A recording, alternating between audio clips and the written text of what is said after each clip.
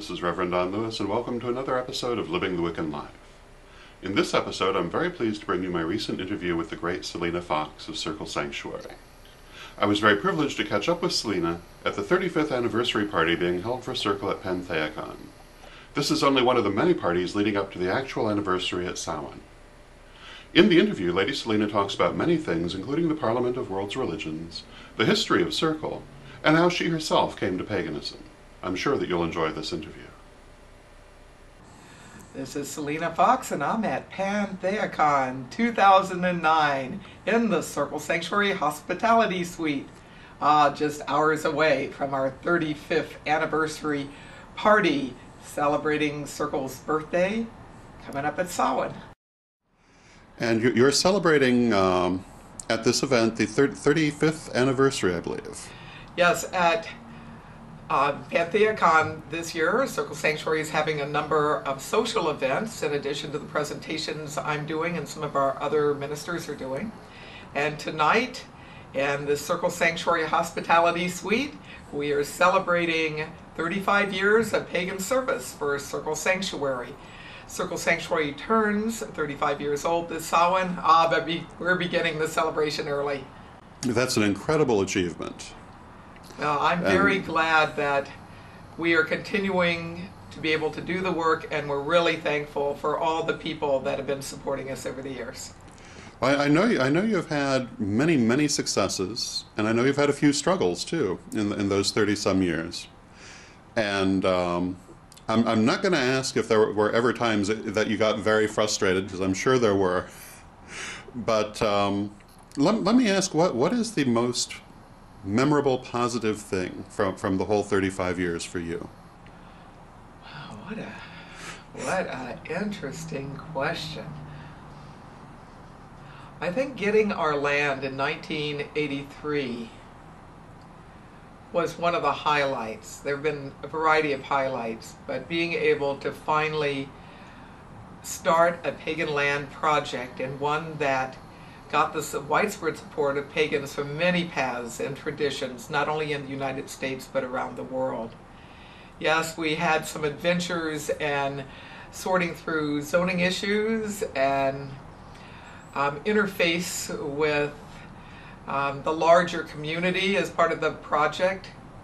Not everyone around us really understood what paganism is, and not everybody in the local area really understood a nature preserve for what they saw was farmland.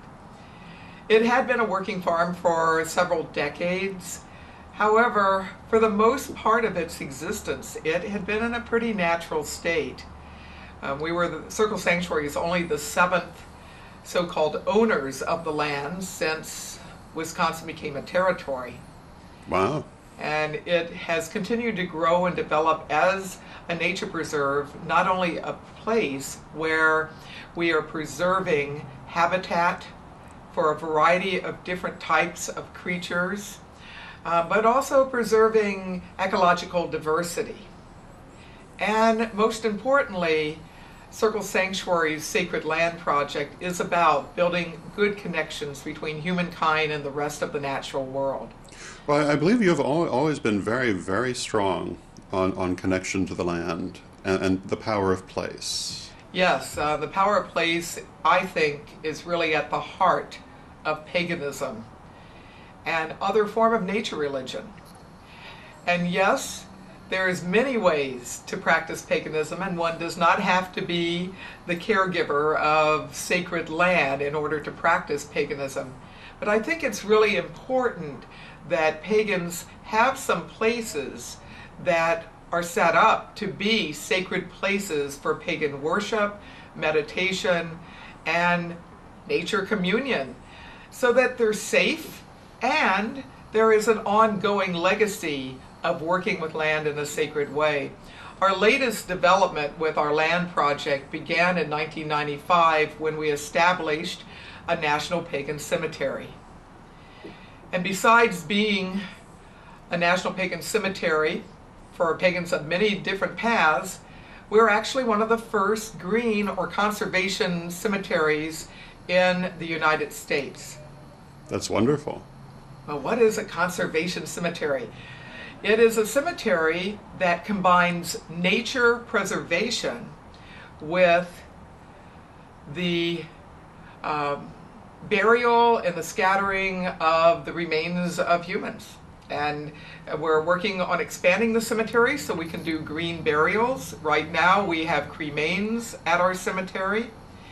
And we are really looking to continue to develop the project in the years to come and to have it open not only to pagans of many paths, but other people who are pagan spirited or very much attuned to the sacred dimensions of nature. Uh, one of the things I know you've been very involved with is the Parliament of World's Religions. And uh, I was wondering if you could say a few words about that. Circle Sanctuary has been a, a strong supporter of the Parliament of World's Religions as well as a variety of interfaith endeavors on the international level down to the local level. What I really like about the Parliament of the World's Religions has been since its revival in 1993, pagans have been included in the circle of world religions, giving support to the parliament, speaking at the parliament.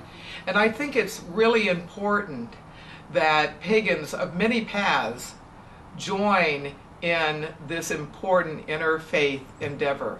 Not only because it's international and multicultural, but because it is something that is focused on some much larger issues in the world in addition to bringing people of different faiths together. What are some of those larger issues? Working for a better environment. In particular, some very specific things. Abundant and clean water around the world for the world's peoples and other life forms. Looking for ways to stop religious violence looking for ways that humankind can live in harmony, not only with each other, but the greater web of life of which we are all part. So beginning in 1993, Circle Sanctuary has had a delegation at each of the Parliament of the World's Religions. In 1993, which was held in Chicago, some of us, myself included, did presentations. We also were part of collaborative efforts, rituals, exhibit booths, networking events with pagans of many paths. And of course, we took part in a variety of interfaith forums and social events. In 1999, Circle Sanctuary also supported the Parliament of World Religions when it convened in Cape Town, South Africa. I was at the 93 Parliament with a number of people from Circle Sanctuary, and in 1999 there were also um, some of us joining together to be there. There we had a chance to connect with pagans from South Africa that were part of the Circle Network. And we connected with pagans from many different places. We put on a reception for pagans who were at the Parliament to have us all network together as the Parliament emerged. And there were certainly some networking things that happened at the 93 Parliament, but here our numbers at the 99 Parliament, because of the distance, um, weren't as high as the one held in the United States and in the city of Chicago, with has lots and lots of pagans. But those of us who joined together in the 99 Parliament were very involved in not only networking with each other, but reaching out and connecting with people of other nature religions as well as other forms of world religions. In 2004, Circle Sanctuary had a delegation that went to the parliament in Barcelona. And I had the pleasure to be part of that delegation as well. Here again, we put on a big reception and had pagans from even more places coming together and different groups and even a wider range than we had had at the previous parliaments. And I think one of the most exciting things about the 2004 Parliament in Barcelona was the fact that we truly came together as a world religion. When I considered what proposal to put in as something that I might present on in 2004, I decided to do Circles in the Greenwood, Paganism as World Religion. And not only did I speak, but I really wanted to have a forum where pagans from many continents, many countries, many traditions could each share about their tradition and how paganism existed within the place they were from. The room was totally packed and we had a lot of excellent discussion, not only from pagans who showed up from the different paths, but from people from many different religions. We also had the opportunity to join together in a variety of different rituals, and pagans in Barcelona who spoke Catalan worked with us and the other groups of pagans that were there to have a grand party on Communities Night. So, in the Chocolate Museum of Barcelona, pagans of many languages and many places and many paths all came together to celebrate paganism as a world religion. That's wonderful. And now Australia is happening in 2009. Circle Sanctuary already has been preparing for that and looking at what kinds of things we might be able to offer there. We've been networking with people around the world about going, and it's going to be a wonderful journey to go to yet another continent for the Parliament of the World's Religions. When you put it that way, it really puts into perspective how remarkable the whole thing is. Yet another continent. We're and literally it's really going- around the world. You're you're exactly right. We're literally going around the world with the parliament. And what's fabulous is truly paganism is a world religion. And yes, there are many traditions within the larger realm of paganism, but yet we have chants in common. We have values in common. We have ritual practices in common.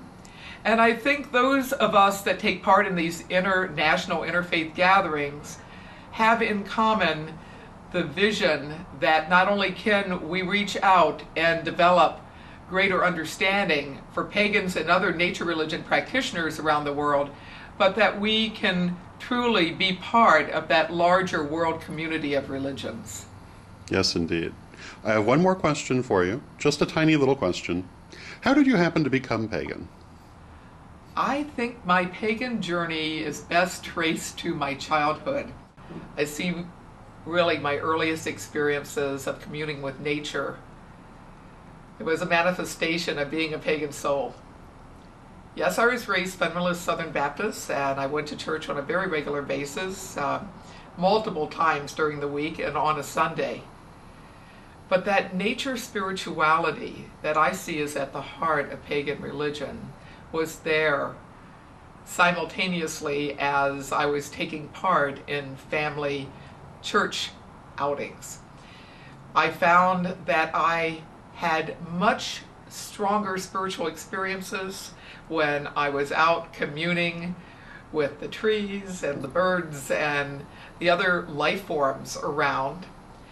And then when I was a teenager, I found from my study of the classics, pantheism as a philosophy really was a better expression of what my particular way of understanding the world was. So it was less that I actually rejected Christianity and my Christian roots, it was more that I drew a much wider circle of spiritual possibility and exploration for myself. And I think part of my interfaith journey now as a pagan priestess, as an interfaith leader as well, really goes back to the fact that early in life I was pagan, but I also was involved with practicing other religions. Uh, last thing, would you care to give your contact information for your many different organizations? Yes, the best way to reach me is Selena at circlesanctuary.org. You can go to the Circle Sanctuary website, www.circlesanctuary.org, and you can call the Circle Sanctuary office, 608 924 2216. Another way to connect with me is through my professional page, or what I call my life's work page on Facebook, and through my website, www.selenafox.com. It's Wonderful. been great connecting, and I Congratulations on the 35 years. thank you very it's much. It's a very amazing achievement. Well, and I imagine we're going to continue the celebration Oh, for yeah. months ahead, and thank you very much for your support. Thank you. I hope that you enjoyed this interview and that you'll join us again next time for more of Living the Wiccan Life. Until then, may you blessed be. And don't forget our books Witch School First, Second, and Third Degree, Ritual and Theory Therian Practice, and Living the Wiccan Life, available now at a bookstore near you or get them direct from us at www.witchschoolstore.com.